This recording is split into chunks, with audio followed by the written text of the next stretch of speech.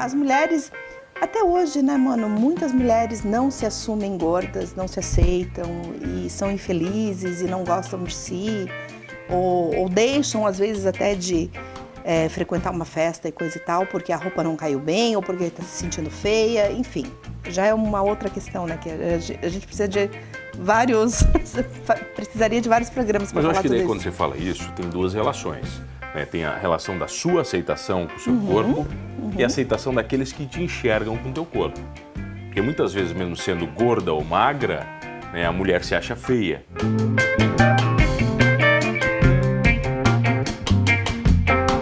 Oferecimento Giasse Construtora. Para você o nosso melhor.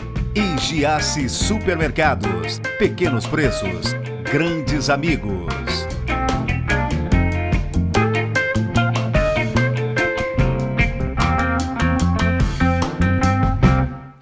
É blogueira, consultora de moda, modelo plus size e o que mais, Karina Virtuoso? E tantas coisas. Tantas vamos, coisas, vamos vai. Hoje. Tantas coisas. Me, me conte, o que mais que você faz da vida?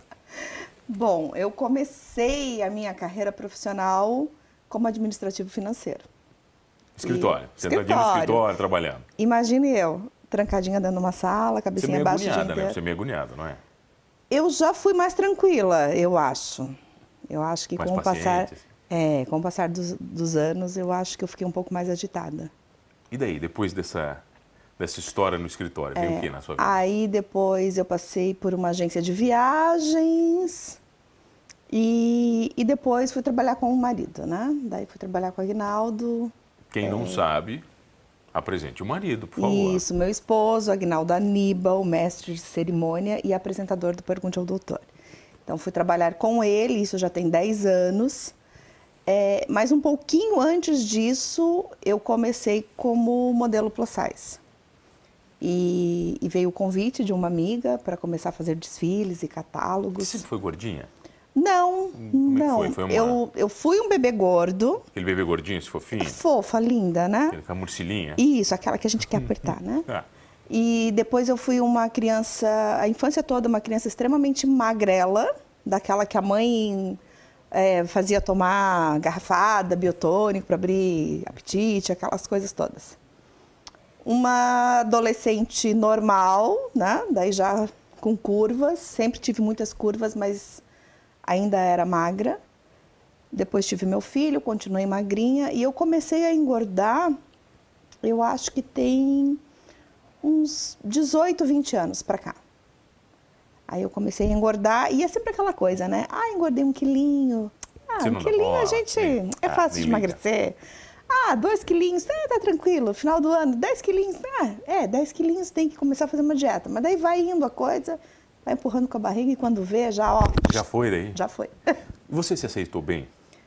No começo, não. No começo foi complicado. Porque quando você fala gorda, assim. parece que a própria palavra já ofende, né? É, mas, gente, não tem essa de gorda não é ofensa, é uma característica, né? Só que a gente tem que levar um tempo para entender isso. Porque as pessoas, é, elas falam assim, ah, gordinha, fofinha, cheinha. Eu acho isso mais ofensivo, mais do, ofensivo que, que o gorda. do que o gorda de, de fato. Porque são características, né? Então, peraí, Magra. deixa eu fazer você sempre foi gorda? Não, porque eu, eu não. fui gordinha, isso me acabou. Você sempre foi gorda? Não, eu nem sempre fui gorda. Vamos começar de novo? eu fui um bebê gordo, uma criança magra, uma adulta dentro dos padrões normais e depois eu fiquei gorda.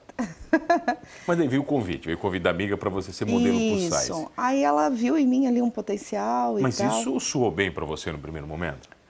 Eu tomei um susto, né? Porque, na verdade, tem 15 anos isso, né? Não é uma brincadeira, 15 é, anos já de história. 15 anos. Eu fui a pioneira aqui do Sul, né? Então, era um momento que não, não, não tinha esse termo chique, plus size, curve, não tinha nada disso. Era tamanho grande, tamanho nobre, tamanho especial. E a gente era, assim, discriminada mesmo. Na tinha um preconceito mesmo, de, de... No próprio mundo da moda tinha um preconceito, né? Tanto que você folhava lá o, o catálogo da, da marca, era modelo é, do tamanho regular. Padrão modelo, né? Modelo É, padrão modelo. Padrão regular ali, né? Catálogo inteiro. E lá no final tinha as duas últimas folhas, eram fotinhos pequenininhas, todo do tamanho grande. Então, isso já era um, um preconceito dentro da, da, quando, do mundo da moda. Mas quando né? a gente volta 15 anos atrás, eu imagino que não era tão fácil você encontrar roupas para quem é mais cheinha. Não. Era não, bem difícil. Bem difícil. A gente usava... As marcas não enxergavam isso, né? Não, não. Na verdade, as roupas eram, eram feias, né? Vamos combinar, né? Roupas não eram atrativas, era muito difícil encontrar é, roupa tendência do que está na moda. Era tudo mal feito, né? Parecia que era tudo mais. É, eu acho, facão, eu acho até que não era questão de acabamento, era questão de modelagem. As pessoas não entendiam como vestir um corpo gordo. Eu acho que era essa questão que pegava. Você acha que o magro fazendo roupa para gordo dá certo? Dá, se ele for competente. Se ele, se ele for competente, dá. Ou tem, e, ou tem que ser um gordinho que tem que fazer para gordo? estudar a coisa certa, dá sim, dá sim. A gente está cheio aí no mercado de, de estilistas magros que fazem roupas lindas. Maravilhosas. Para gordas, vestem Mas beleza, vamos voltar. 15 anos atrás, você Isso. recebe o convite daí. Aí eu digere ele, eu fiquei, tem que dar uma digerida. É, eu fiquei um pouco surpresa. Eu disse, foto? Ah, vamos lá, vamos fazer uma foto. É, tu fotografa tão bem, tu, tu tem um, um perfil que a gente está precisando, de um tamanho um pouco maior e tal. Eu disse, bom, vamos lá, vamos tentar, né? Vamos ver o que, que é. E na época, meu filho é adolescente, ele dizia, não, né, mãe? Ficou com Não, né, mãe, tu não vai fazer isso, né? Depois, logo em seguida veio o convite para desfilar, porque aqui no Sul a gente tem muito lançamento de coleção e tem desfiles, né? Inclusive, domingo agora participei de um lá em Sombrio. E ele disse, não, né, mãe? Tu não vai subir na passarela, né, mãe? Eu disse, vou sim, meu filho, vamos lá, vamos lá, por que que não? Só as magrinhas que podem, eu não posso. Mas ele tinha também. vergonha de você? Com certeza, né? Adolescente tem vergonha de qualquer pai, tem né? vergonha de, dos pais. Não interessa, né? Tem vergonha do pai em qualquer tem, sentido. Tem, E daí fui e, e era uma época... Já era difícil ter a roupa grande, né? Aquela roupa bonita para gordos já era complicado. Imagina gordos e gordas que se aceitassem e a ponto de subir numa passarela ou fotografar e fazer catálogo. Não tinha. Você numa roupa mais aprimorada ainda. Não, mas não Não tinha. tinha nada. A- As mulheres, até hoje, né, mano? Muitas mulheres não se assumem gordas, não se aceitam e são infelizes e não gostam de si. Ou, ou deixam, às vezes, até de eh, frequentar uma festa e coisa e tal, porque a roupa não caiu bem ou porque está se sentindo feia, enfim. Já é uma outra questão, né? Que a ge- a gente precisa de vários. precisaria de vários programas para Mas eu falar acho que daí tudo quando você fala isso, tem duas relações. né? Tem a relação da sua aceitação com o seu Uhum, corpo e a aceitação daqueles que te enxergam com o teu corpo. Porque muitas vezes, mesmo sendo gorda ou magra, né, a mulher se acha feia. Uhum. E ela tá linda aos olhos do marido, tá linda aos olhos dos amigos, entende? Aos olhos dos filhos. E a mulher não se aceita do jeito que ela é. Eu acho que isso não é, não é só, não é só um, um privilégio do gordo, sabe? Da gorda, de, de se aceitar ou não. Acho que cabe para todo mundo. a Para gente tem esse mundo. problema, né, Isso cara? é uma relação de autoestima, né? É, as pessoas magras, quando são magras demais, também não se gostam, né? Algumas, né? Outras lutam pa- para serem magras E demais. nesses 15 anos você lutou, tentou emagrecer ou não?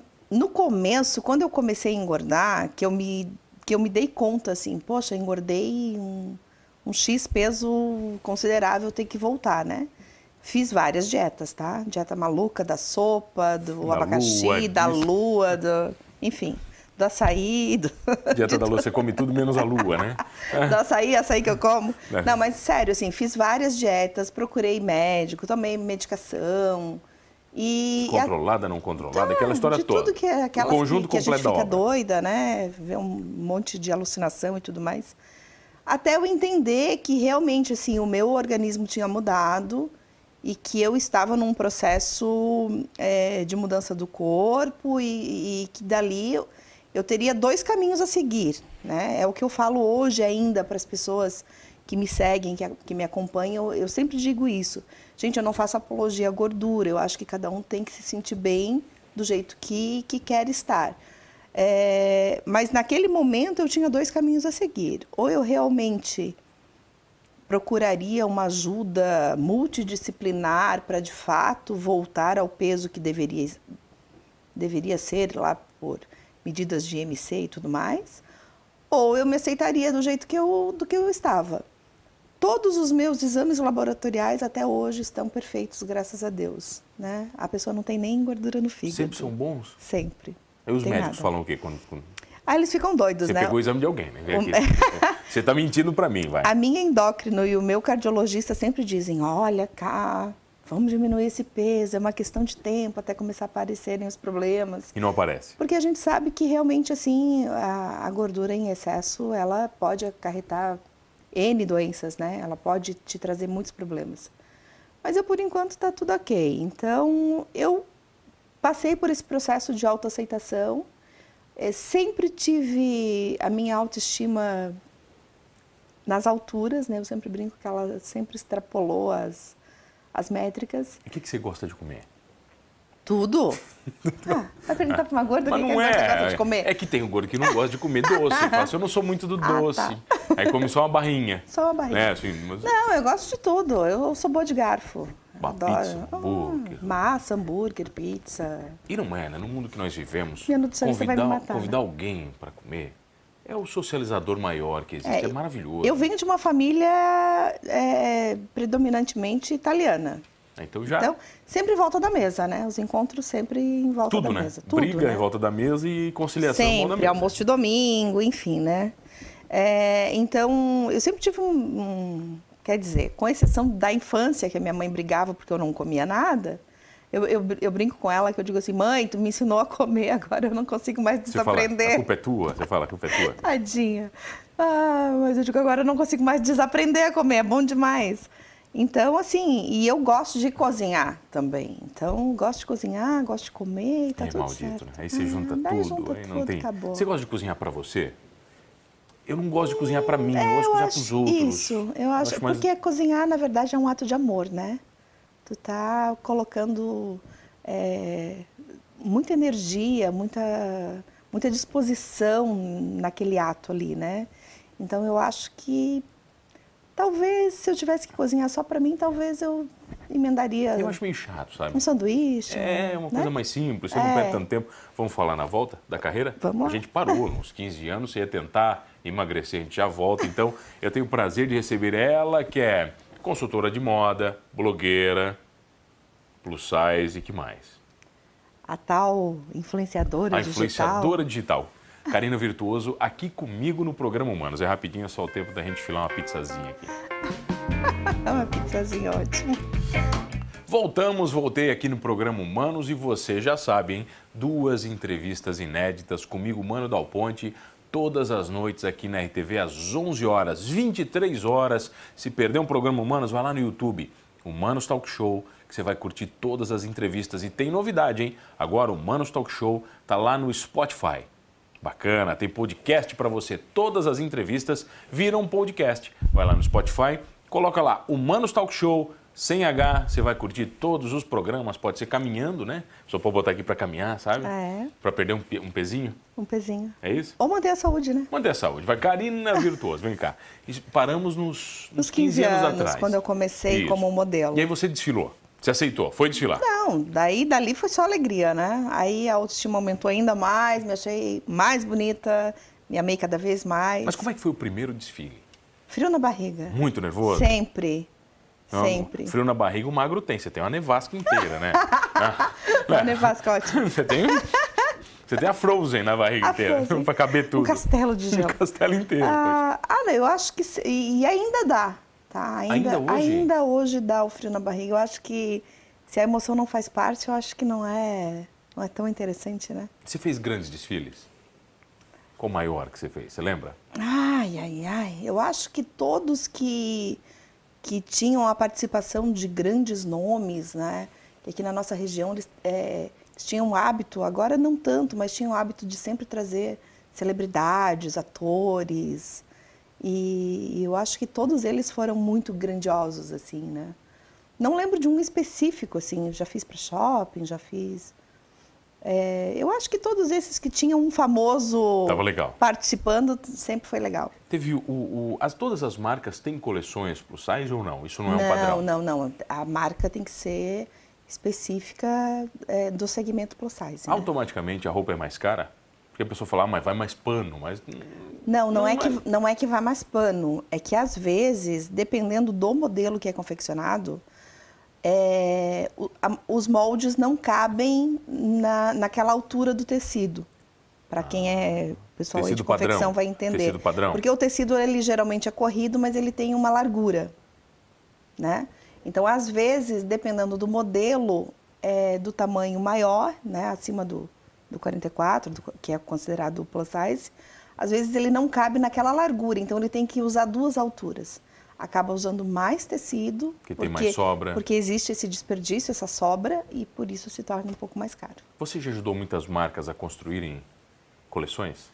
Sempre dou uns pitaquinhos, assim, Se mas pedem opinião? assim, sempre tem, um- rola uma, uma consultoria, mas é, construir uma coleção mesmo, não tive, assim, uma participação ativa. Mas é um sonho ou não? Chega a ser um sonho? Talvez, talvez. Eu acho que o sonho maior seria de entrar numa, numa única loja, tipo essas de departamento, e ter toda, tudo, Tudo exclusivo plus size. Eu acho que esse é um sonho maior. Mas o tamanho, por exemplo, do gordo também não é diferente, cara? Ou ele, é- ou ele segue um padrão também? A forma do corpo, ela começa a Ah, mudar muito? sim, sim, porque eu tem os imagino que ela- biotipos, ela, né? Eu imagino que ela começa a mudar muito quando a Tem, pessoa vai tem, engordando. tem bastante, porque o, tem os biotipos, né? Tem quem é mais largo de ombro, tem quem é mais largo de quadril, tem quem tem mais cintura ou mais barriga. Então, os biotipos mudam bastante, assim como acontece no corpo magro, a mesma Vai coisa. ter- o que é mais difícil na vida do gordo? Ai, depende. Coisa mais complexa para o gordo fazer, vai. E agora? Marrar o cadarço? Exercício? Não, mas aí você não Gordo gosta. preguiçosa. Não, mas gordo não gosta de exercício. É, gordo preguiçosa, né? Ah, é, eu acho que dependendo do tamanho da barriga, amarrar o cadarço fica mais complicado. O que mais que não, o que mais que não pode? Tudo pode, por que, Tudo que não pode? Tudo pode. Por que, que não? Não, eu não sei, estou perguntando para você. né? Eu sou a pessoa que quebra regra, Você né? destrói? Então, quebro regra, principalmente na moda. Ah, a gorda não pode usar pantacur porque vai achatar. Lá vou eu usar Você pantacur. vai usar. Ah, a gorda não pode usar, sei lá, saia midi porque vai ou saia larga porque vai evidenciar quadril. E daí, qual o problema? Se a pessoa gosta do quadril, deixa a pessoa usar. Deixa usar? Bom, eu estava dando uma, uma vasculhada no seu Instagram e eu vi muitas fotos com lingerie. Uhum. Foi, um, foi um paradigma também? A praia, a lingerie, ela, ela também a, é um a momento... moda praia, ela inibe bastante, né? Porque a mulher tem, a mulher em geral, gorda ou magra, ela tem a paranoia da celulite, da estria, dos pneuzinhos. E, mas assim, eu acho que eu sou muito a favor da vida real, é o que é. Se você se aceita e se está bem com a imagem que o espelho reflete, está tudo certo. E claro, né, a gente pode disfarçar o que a gente não gosta, às vezes tem um truquezinho de é, uma, uma pose diferente, Há um cantinho assim? um filtrinho que a gente bota É? nas fotos, né? Não vez eu- Photoshop, um filtro. Um filtro. Eu vi uma vez o pastor Cláudio Duarte ensinando Aham. a, a, a mulher que está gorda a como ela fisgar o marido quando ele chega em casa. Ela, tem que, ela tem que deitar no sofá de canto, Ah. né? ele, ele, e ele mostra assim, apagar meia luz, porque daí só dá um volume no corpo, botar uma lingerie. É, é demais. Procurem esse vídeo que vocês vão curtir, do pastor Cláudio Duarte, falando como a, a, a crente gorda, ele dá uma brincada, né? Tem que fisgar o marido para É, dar aquela pimentada na Rola relação. preconceito até, Até nisso. até dentro da igreja, tá vendo como é que é? Tá aí no sexo. A a gordura atrapalha? Ou é tranquilo? Mano, Tem eu que, acho. tem que dar uma, tem que dar uma, uma modificada. adaptada? Uma adaptada. Como é que é? Vai da imaginação de cada um, né? Não, acho que isso não tem problema. Eu acho que desde que você esteja, volto a dizer, desde que você esteja bem consigo mesma e, am- e se amando, acho que tá tudo válido. Tá tudo válido? Vai Tá embora? Não válido. tem problema? E se a pessoa tiver problema, é porque não é a pessoa, a pessoa certa. Você falou né? de celulite, também tem uma dica para as mulheres, tá? Uma dica para as mulheres. Homem não liga para sua celulite. Claro que não. Homem não liga. Se o seu namorado liga para sua celulite, cuidado. Ele pode estar querendo arrumar um namorado para ele. Homem não liga para sua É que na hora Não H, de fato, na hora H, de fato, é, eu acho que a química, o envolvimento tá tão bom. É muito mais importante. não vai parar para ver celulite, né? Não, né, vai cara? parar, né? Assim como tem os homens que têm as suas barriguinhas, suas pochetinhas, tá tudo certo, gente. O que importa é a química, né? É a química. Tá, vai nesses 15 anos então de passarela, o que mais de diferente surgiu? Teve alguma coisa muito marcante nesses 15 anos para você? Em termos da, da De moda, Ah, com certeza. A evolução toda da moda plus size, né? Hoje ela é uma moda inteligente? É uma moda inteligente, é uma moda atual. Hoje as coleções, é, as estilistas, a mesma pesquisa que elas utilizam para fazer a moda tradicional, a moda regular, ela usa para o tamanho plus size, claro que com as adaptações de modelagem, né? Hoje você encontra praticamente tudo? Tudo. É um tudo. mundo já muito mais abrangente? Graças a Deus. Graças a Deus. Claro que ainda não é como a gente imagina, né? Como a gente sonha, como eu falei. A, a, o sonho é de encontrar tudo que a gente quer em qualquer esquina. Ainda não é assim porque eu acho que os lojistas têm um pouco de receio em apostar na moda plus size e estão perdendo espaço, porque a gente quer estar bem, quer se vestir bem, e para isso a gente precisa encontrar essas roupas, né, para comprar. Quando você fala isso, me vem uma concepção de negócio na minha cabeça. Uhum. Você imagina todo um universo de pessoas que estão acima do peso uhum. querendo comprar. Metade do povo, né? Pois é, metade mais da, mais da né? metade da população brasileira. E esse lojista não enxergar esse nicho, não enxerga, cara, não enxerga. É burrice. A maioria não enxerga. A maioria ainda fica ali naquele nos tamanhos regulares e coloca dois, três tamanhos, geralmente duas, duas numerações a mais no final da, da arara ou Ah, escondidinho. escon- escondido, mas por que, que eles escondem? Boa pergunta. Não sei. Nunca- Eu acho que as pessoas, elas. é, Primeiro que. Volta na à tecla do preconceito, né? Porque muita gente que entra naquela loja, principalmente as mulheres magras, elas não querem encontrar o mesmo modelo de roupa é, regular num tamanho grande. Ah, ela não quer. Ela não quer. Não quer se ver num A espelho. maioria não quer, a grande maioria. Então o lojista também vai muito é, direcionar para o seu público, né? Se o seu público é preconceituoso, ele vai ter que trabalhar isso. Tá, e o seu blog, como é que funciona? Bom, o tem um blog, blog. É, o blog ele surgiu é, tem cinco anos já, ou seis, acho, seis anos. Deixa o endereço pra galera. É, é caentrenós.net. Cá Entre Nós, muito K, legal. só o K sem o A. O nome eu acho genial. Caentrenós.net. É, o nome é genial. O nome é genial. É. O blog ele surgiu aí no boom dos blogs, né? E eu senti essa necessidade é, de passar para as pessoas todo o meu conhecimento, toda esse essa experiência e vivência plus size, porque eu recebia muito, muitas mensagens pelo Facebook ou muito e-mail, gente pedindo consultoria, o que, que deveria usar, como, aonde que encontrava roupa, quero comprar uma calça jeans, onde que eu acho, essas coisas O pessoal todas. te mandava foto dizendo, pô, posso usar isso aqui? tá Sim, legal? Sim, eu recebia muito assim, olha, essa sou eu, puf, chegava a fotinho. Tem um casamento dia tal, vai ser assim, vai ser frio, vai ser calor, o que, que eu uso, que cor que eu uso, que modelo que vai fa- favorecer e tal. Então eu, eu encontrei no blog esse caminho mais rápido e mais acessível para chegar a mais pessoas. É uma maneira de, de ajudá-las, né? Dessa Mas, sofreu, forma. mas você sofreu algum preconceito virtual? Não, não, não. não. Hater, não tem nada disso, assim, pessoal Ah, não tem? eu, na verdade, nada assim tão agressivo. Eu sempre fui tratada com bastante respeito e eu acho que as pessoas é, acabaram entendendo que é um outro nicho, é um outro mercado, enfim. E a, a grande maioria da- das seguidoras são, são plus size, né? Então se- encontram ali, né? Vocês falam a mesma língua. A mesma língua. Bom, então deixa para quem está vendo o programa qual o seu Instagram, por favor. Meu Instagram é Carina Virtuoso, Carina com K. O blog Cá Entre Nós, né? Karina com K virtuoso com S. Carina com K, Virtuoso com S. E o Isso. blog? Caentrenós.net. Cá entre nós, essa entrevista foi maravilhosa. Muito obrigado. Obrigado a você que está comigo todas as noites aqui na RTV. E não esqueça de uma coisa, hein? Eu ia falar estando gordinhos ou não. Agora, sendo gordos ou não, somos todos humanos.